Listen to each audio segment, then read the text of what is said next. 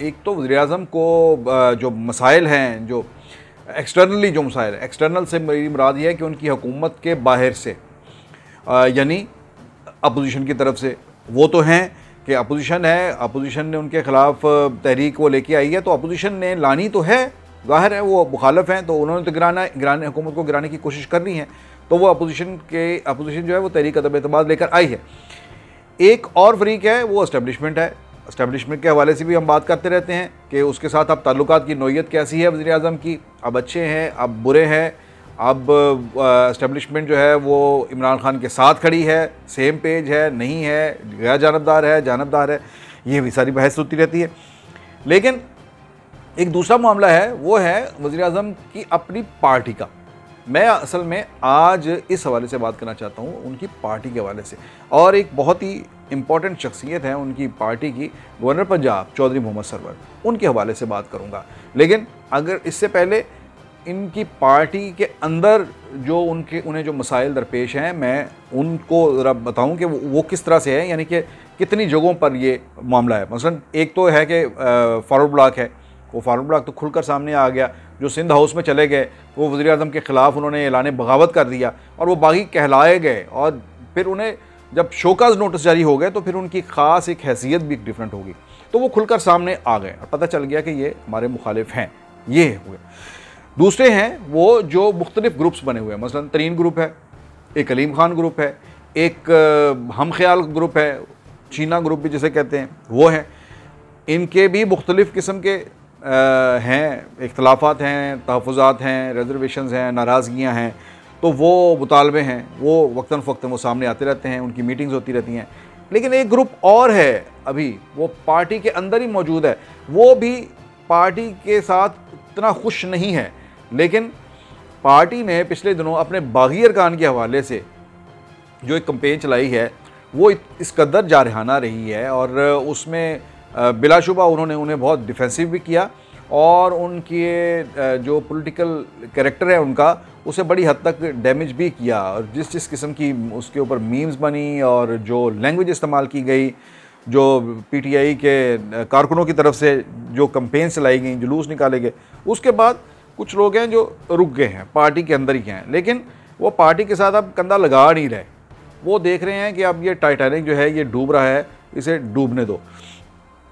मैंने बात की कि चौधरी सरवर के हवाले से मैं बात करना चाहता हूँ। मैं चौधरी सरवर को, बहरहाल उसमें तो नहीं मैं शुमार करता ऐसे ग्रुप के अंदर कि कहीं वो किसी को कॉन्स्परेसी का हिस्सा होंगे, लेकिन पार्टी के अंदर एक ग्रुप ऐसा है जो कुछ नहीं है पार्टी क्यादत से कि वो अपने तौर पर कि उन्हें जो, वो जो उनका बनता था हक या जो उन्हें मनसब जो मिलने चाहिए थे वो नहीं मिले।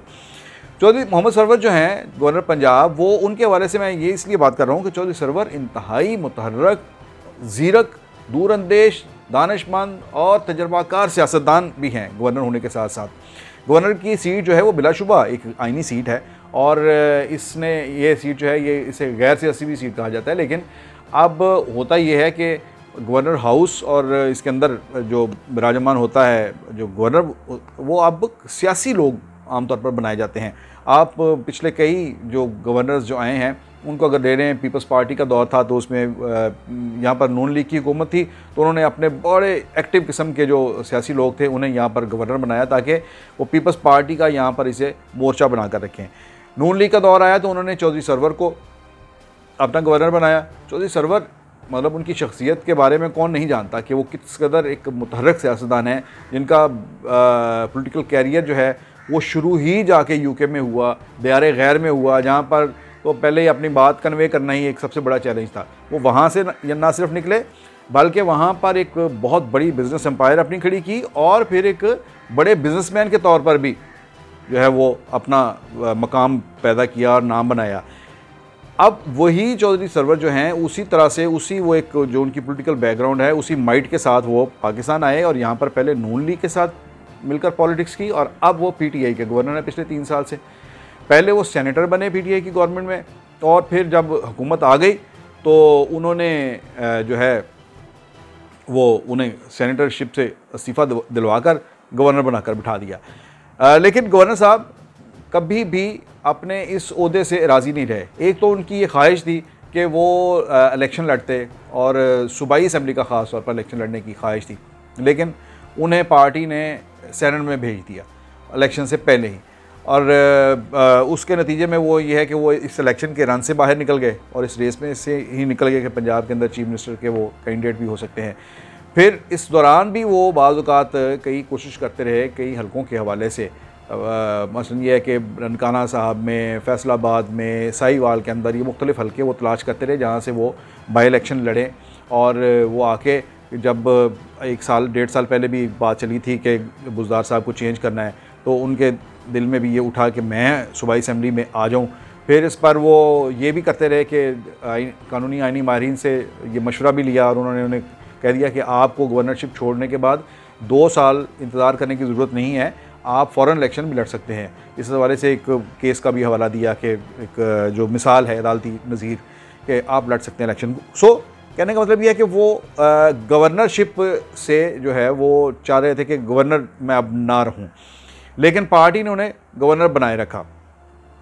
और एक ख़ास हद के बाद अब फिर उनका अब गवर्नर हाउस में कोई ख़ास दिल लग नहीं रहा था। इसलिए कई बार उन्होंने इस बात का इजहार जो है वो किया भी कि मैं, मुझे यहाँ कहाँ बाँध कर रख दिया है।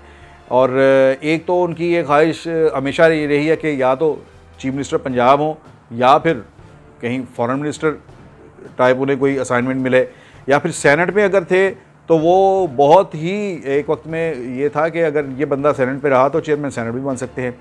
इस किस्म का वो अपना प्रोफ़ाइल अपनी फ़ोटो जो है, ऐसे फ्रेम के अंदर वो आमतौर पर देखते हैं। लेकिन पार्टी ने उन्हें गवर्नर बनाकर वहाँ से उन्हें समझे कि उन्हें उन्हें कहा कि इन्हें इन्हें भुगता दिया। इनका कोटा बंद कर दो, इन्हें जो देना था दे दिया। और उसके बाद ज़्यादा लिफ्ट भी नहीं करवाई गई। और एक वो उन्होंने कहा कि मैं साफ़ पानी सुबह में लोगों को फ्राहम करना चाहता हूँ तो उन्होंने कहा कि आप कंपनी बनाएँ, लेकिन उस कंपनी को भी जिस मुश्किल का सामना करना पड़ा। सो ये सारी एक, फिर वो सर्वर फाउंडेशन चलाने के हवाले से भी उनका हाथ रोक दिया गया। फिर और भी पंजाब में चौधरी बरदरान के साथ भी उनकी जो है वो ऐसे ही खटपटी रही। तो लेकिन ये सारी चीज़ों के बावजूद गवर्नरशिप जो थी, उन्हें बरकरार उन्हें रखा गया, लेकिन गवर्नर पे अब वो राज़ी नहीं थे। अब आकर जो है वो, जो अब इस वक्त जो वजी अजम इमरान ख़ान को जो एक मुश्किल बहुत ज़्यादा दरपेश है, जिसके अंदर ये खालसन एक ऐसा मसला है, तहरीक अदम अतमाद का, जिसके अंदर सबसे बड़ी यही ज़रूरत होती है कि कोई ऐसे आपके पास फेसेस हों, जो हर तरफ़ काबिल कबूल हों बहुत ही पोलिटिकल लोग हों बैठ कर बात करने वाले हों, लोग उनकी बात सुने और लोग उनके साथ बात करना पसंद करें। इस हवाले से मैं ये समझता हूँ कि चौधरी सरवर एक अच्छा फेस था, लेकिन वो कहीं नज़र नहीं आ रहे। तमाम तर ये सारे बहरान के अंदर जब जहाज़ इधर से उधर उड़ रहे हैं, रबते हो रहे हैं, वो उससे मिल रहा है, वो उससे मिल रहा है। और यानी आप अंदाज़ा करें कि गवर्नर सिंध इमरान इस्माइल जो इन, इनके नस्बत उनका पॉलिटिकल कैरियर कुछ भी नहीं है, वो कराची से उठते हैं और लाहौर आकर अलीम खां से मिलते हैं और अलीम खां को बनाने की कोशिश करते हैं। लेकिन लाहौर में बैठा हुआ जो पंजाब का गवर्नर है, उसका पता ही कोई नहीं है कि वो कहाँ है, कहाँ नहीं है। ना तो पंजाब के गवर्नर के ने किसी हमने नहीं देखा कि कहीं उन्होंने कहीं, नाराज़ एम को किसी, कहीं बुलाया हो, उनकी बात सुनी हो, उनके लिए उनके दुख सुने हों उनके दुखड़े उनके गिले शिकवे कुछ सुने हों या ना ही कहीं वो खुद किसी जगह पर चल कर गए हैं। इससे पहले हमने देखा हमने वो हर जगह जाते हैं। वो आ, मुस्लिम लीगियों से भी मिलते हैं। वो आ, जो है दूसरी पार्टीज़ के चौधरीों से भी मिलने चले गए। वो मंसूरे भी जाते हैं हर जगह पर चले जाते हैं।